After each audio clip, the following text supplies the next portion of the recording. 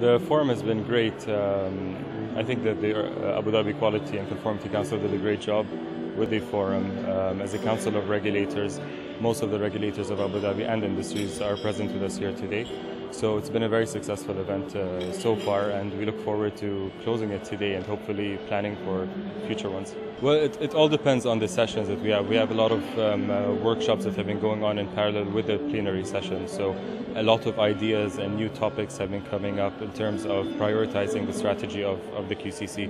Uh, personally, my favorite session was the sustainability session, where a lot of ideas came up on how we can, how, how Abu Dhabi can use the environmental trust mark in a more efficient way.